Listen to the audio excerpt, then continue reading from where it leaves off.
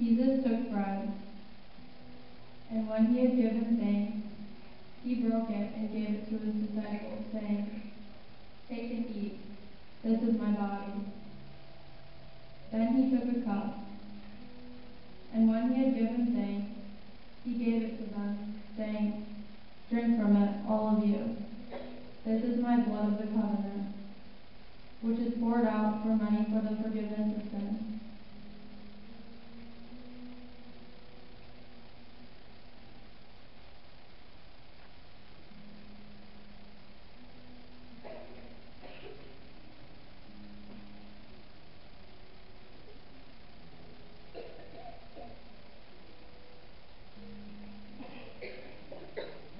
They arrived at the garden, and Jesus told them, This very night you will all fall away on account of me, for it is written. Peter replied, Even if all fall away on account of you, I never will. Truly I tell you, Jesus answered, This very night before the rooster crows, you will disown me three times. But Peter declared, Even if I have to die with you, I will never disown you. And all the other disciples said the same. Jesus said to the apostles, Sit here while I go over there and pray. He took Peter and the two sons of Zebedee along with him. And he began to be sorrowful and troubled. Jesus said to them, Stay here and keep watch with me. Jesus falls with his face to the ground and prayed, My Father, if it is possible, may this cup be taken from me. When he returns to his disciples, he finds them sleeping. Couldn't you men keep watch with me for one hour? He asked Peter. Jesus goes away a second time and prays. When he comes back, he again finds them sleeping. Once more, he goes away from them and prays the third time, saying the same prayer. Then he returns to his disciples and says to them, Rise, here comes my betrayer.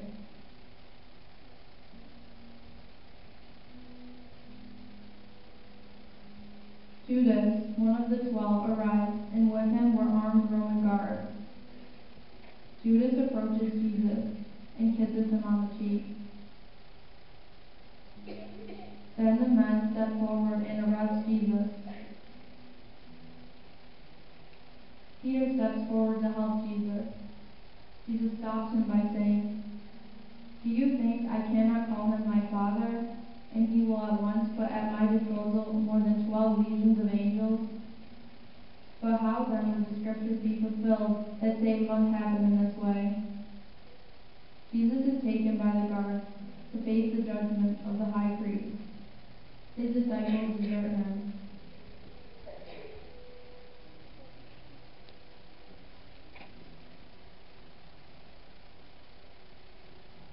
Those who had arrested Jesus took him to Caiaphas, the high priest.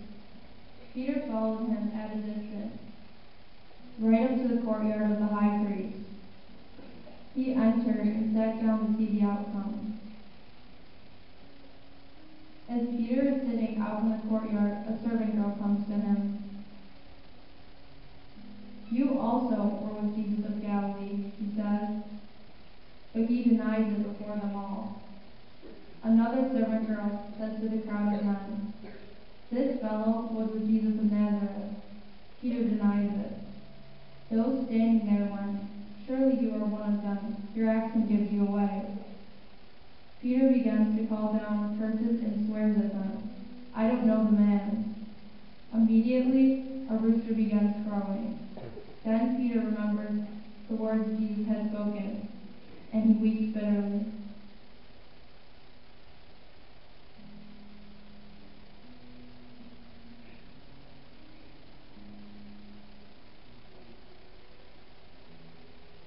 The first station. Jesus is condemned to die. We adore you, O Christ, and we bless you, because by your holy cross you have redeemed the world. From the Gospel according to Matthew, Pilate said to them, Then what should I do with Jesus who is called the Messiah? All of them said, Crucify him. Then he asked, Why, what has he done?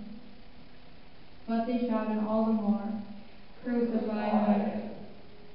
So he released Barabbas for them. And after flogging Jesus, he handed him over to be crucified.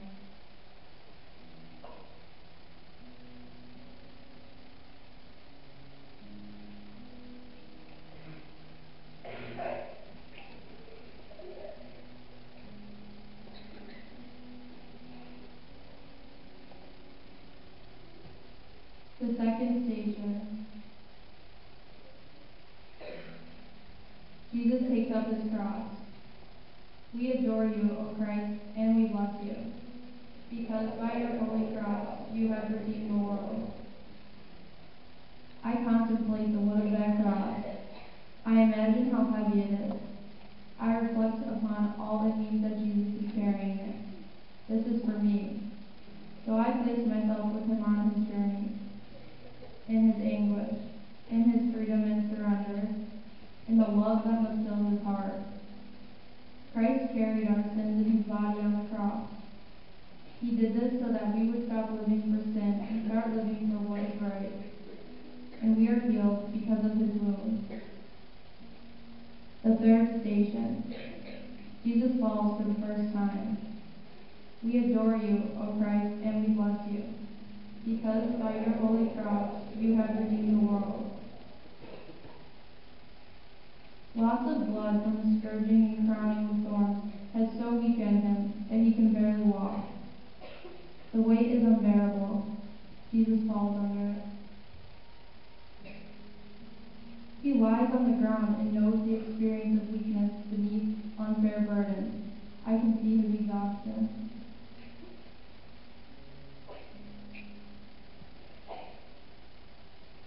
Being roughly pulled up and made to continue. I know forever how profoundly he understands my fatigue and my defeat. This is for me. I accept his love.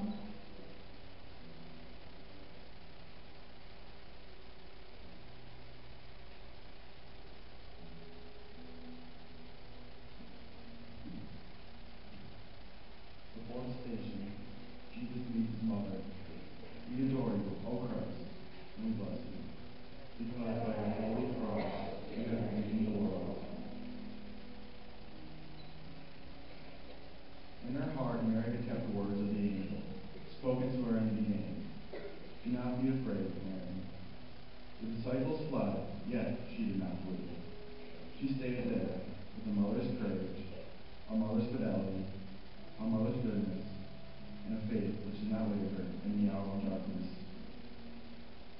Blessed is she who believes.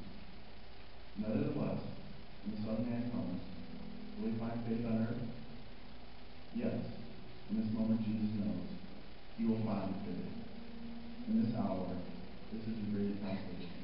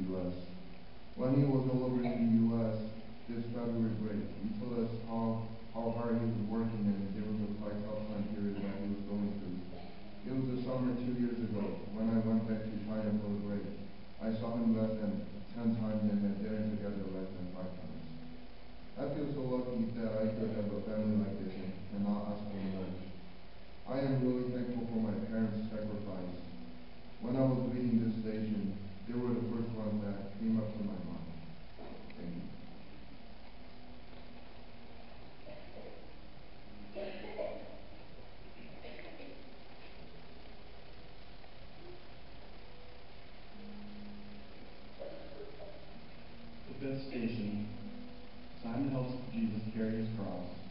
We adore you, O Christ, and we bless you.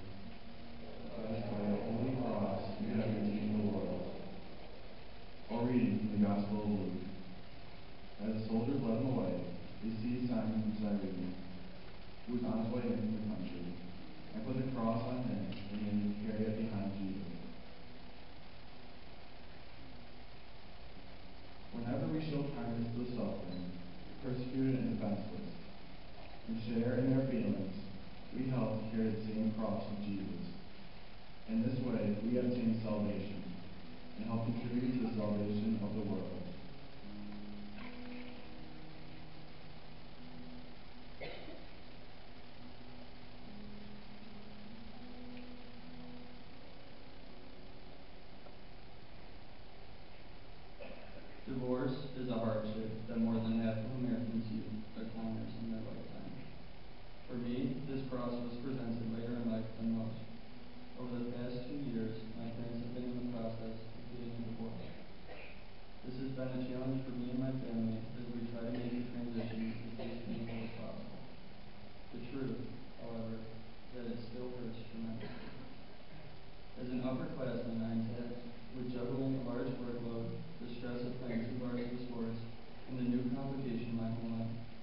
This constant anxiety is part of my everyday life now that my parents are separated. It is always with me and has made even simple tasks seem impossible. The day that my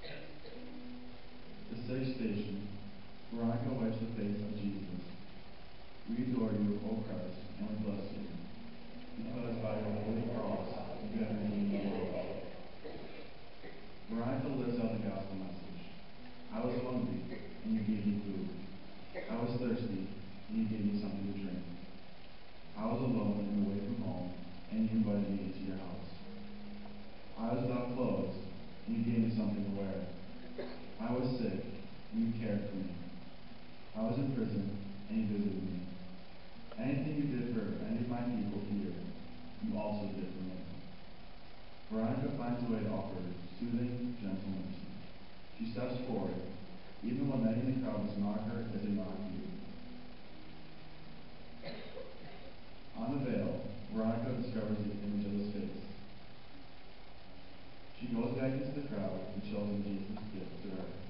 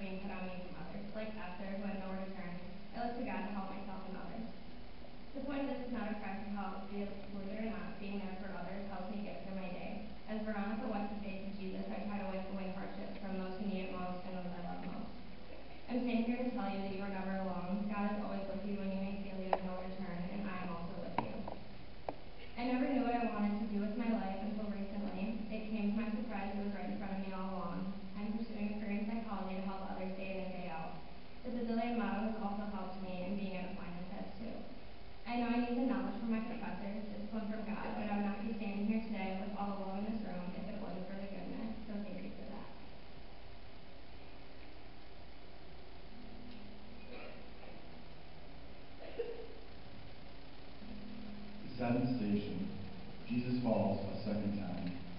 We adore you, O Christ, and we bless you. Because by your holy cross, you have redeemed the world. Even as Simon's help, Jesus stumbles and falls to the ground. We too may fall as we run our race. We are distracted by temptation and sin and fail to keep our eye on the finish line, heaven. But Jesus gave us the church and the sacraments. Let us run, walk, or dry yourselves. the goodness and cleansing of sacraments. With a clean heart, let us hear Jesus say, Arise, go on your way, your faith has made you whole.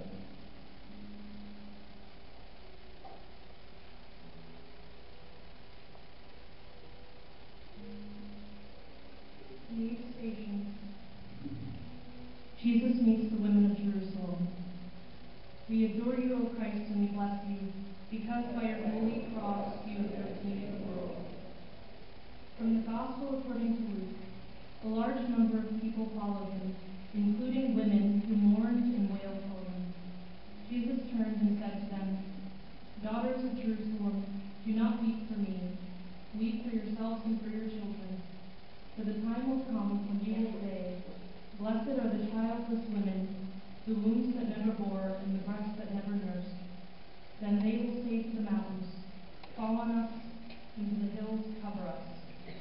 For if people do these things when the tree is green, what will happen when it is dry? The ninth station.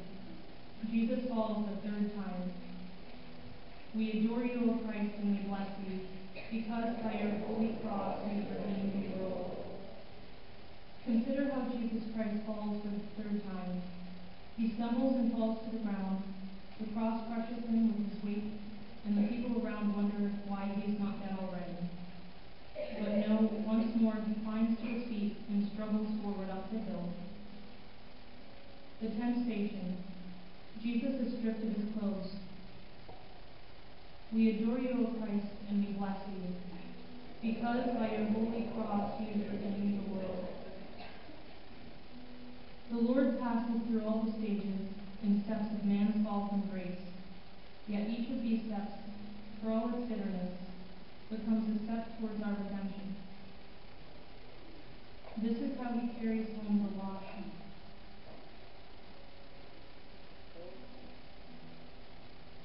The eleventh station.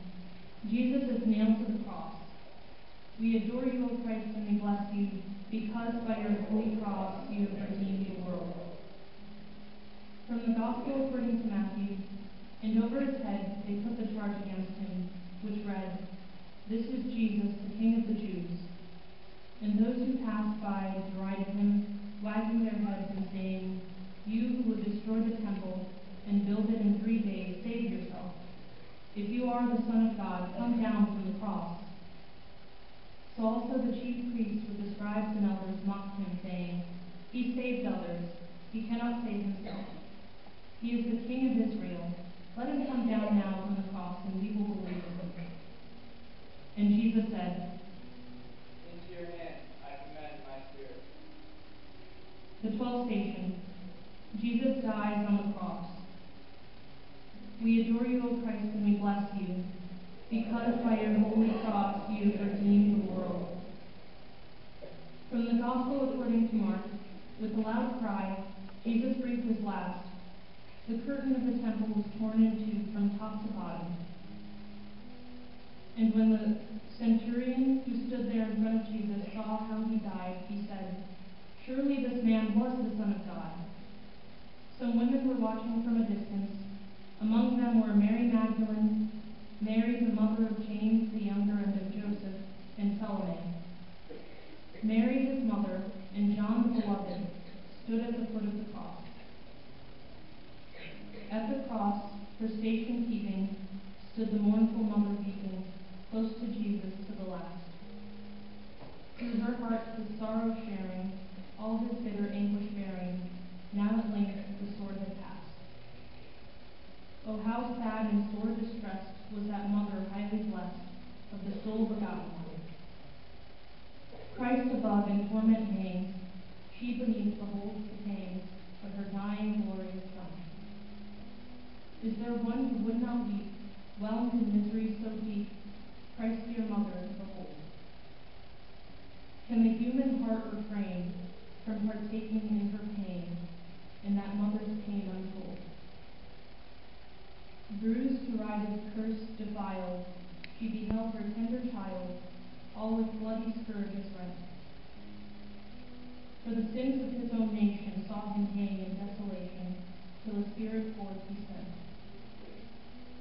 O thou mother, fount of love, touch my spirit from above, make my heart thine accord.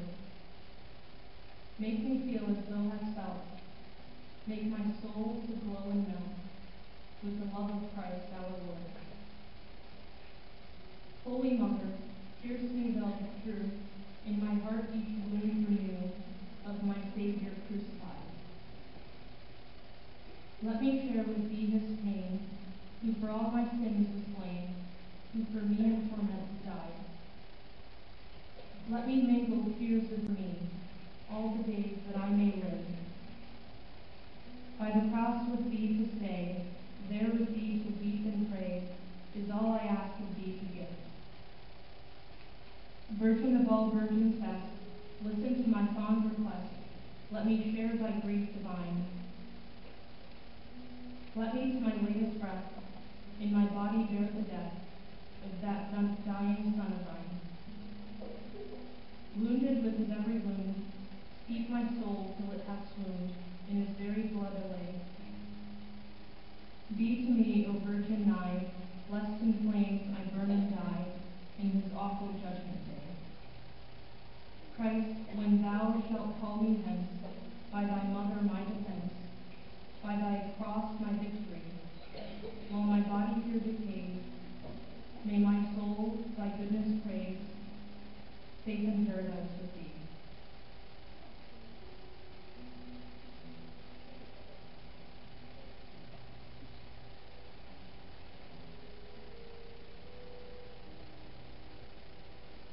The thirteenth station. Jesus is taken down from the cross. We adore you,